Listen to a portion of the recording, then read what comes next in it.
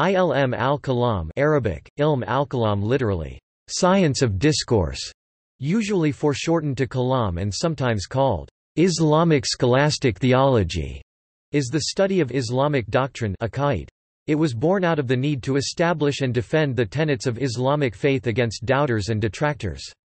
A scholar of kalam is referred to as a mutakallim plural, mutakallimūn, and it's a role distinguished from those of Islamic philosophers, jurists, and scientists. The Arabic term kalam means speech, word, utterance, among other things, and its use regarding Islamic theology is derived from the expression word of God. Kalam Allah found in the Quran, Murtada Mutahhari describes kalam as a discipline devoted to discuss the fundamental Islamic beliefs and doctrines which are necessary for a Muslim to believe in. It explains them, argues about them, and defends them. See also Five Pillars of Islam.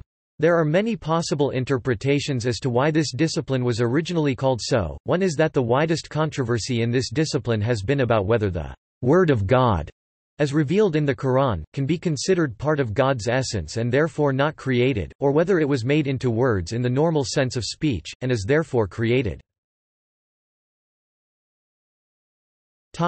Origins As early as in the times of the Abbasid Caliphate 750-1258 CE, the discipline of kalam arose in an attempt to grapple with several complex problems Early in the history of Islam, according to historian Majid Fakhri. One was how to rebut arguments leveled at Islam by pagans, Christians and Jews. Another was how to deal with what some saw as the conflict between the predestination of sinners to hell on the one hand and divine justice on the other, some asserting that to be punished for what is beyond someone's control is unjust. Also Kalam sought to make a systematic attempt to bring the conflict in data of revelation in the Quran and the traditions into some internal harmony. Historian Daniel W. Brown describes ahl al-Kalam as one three main groups in the time around the 2nd century of Islam ahl ar-Ra'i and ahl al-Hadith being the other two, clashing in polemical disputes over sources of authority in Islamic law. Ahl al-Kalam agreed with Ahl al-Hadith that the example of the Muhammad, the Prophet of Islam, was authoritative, but it rejected the authority of a hadith on the grounds that its corpus was filled with contradictory, blasphemous, and absurd reports, and that in jurisprudence, even the smallest doubt about a source was too much. Thus, they believed, the true legacy of the Prophet was to be found elsewhere. Ahl al-Hadith prevailed over the Ahl al-Kalam and most of what is known about their arguments comes from the writings of their opponents, such as Imam al-Shafi'i. As an Islamic discipline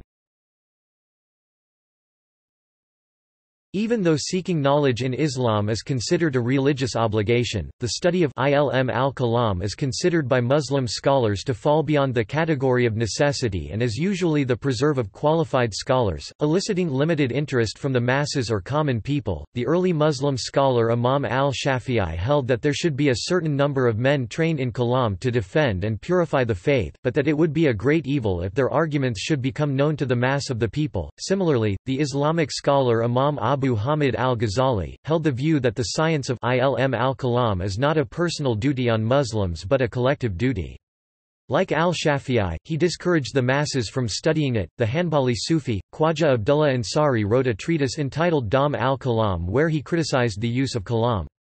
The contemporary Islamic scholar Nuh Ha Mim Keller holds the view that the criticism of Kalam from scholars was specific to the Mu'tazila, going on to claim that other historical Muslim scholars such as al-Ghazali and an-Nawawi saw both good and bad in Kalam and cautioned from the speculative excess of unorthodox groups such as the Mutazila and Jahmites.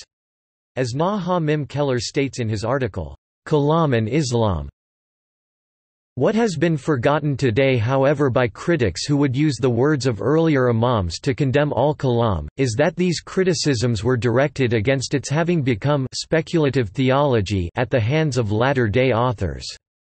Whoever believes they were directed against the Aqidah or personal theology of basic tenets of faith, or the discursive theology of rational kalam arguments against heresy as someone who either does not understand the critics or else is quoting them disingenuously. Major Kalam schools Hadith rejection Quranism Sunni. Orthodox. Maturidiyya Ash'ariya. Unorthodox. Mutazili. Shia. Imamiya Shia Imami Theology of Twelvers. Imami Ismaili. Nizari Ismaili. Tayyibi Ismaili. Topic. See also. Arianism. Jahm bin Safwan. Jewish Kalam. Kalam cosmological argument. Logic in Islamic philosophy Logos Christianity Madhab Qadr doctrine Topic References Topic Further reading Isa, Muhammad. The Jurist and the Theologian, Speculative Theology in Shafi Legal Theory. Gorgias Press, Piscataway, N.J., 2017. ISBN 978-1-4632-0618-5. External links Kalam and Islam by Sheikh Nuh Keller Wolfson, Harry Austryn, The Philosophy of the Kalam, Harvard University Press, 1976, 779 pages, ISBN 978-0-674-66580-4, Google Books, text at archive. Org Living Islam